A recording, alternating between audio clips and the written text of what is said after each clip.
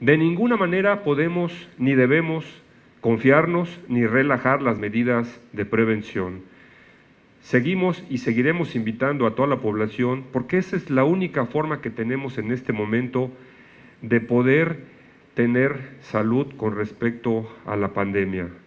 Tenemos muchos casos, los casos pueden aumentar, pueden disminuir, pero la pandemia va a ser larga.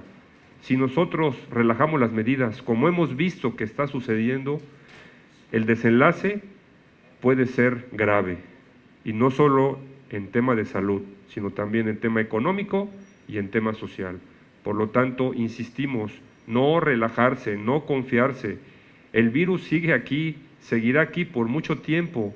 No podemos cruzarnos de brazos, no podemos hacer nuestra vida como la hacíamos antes.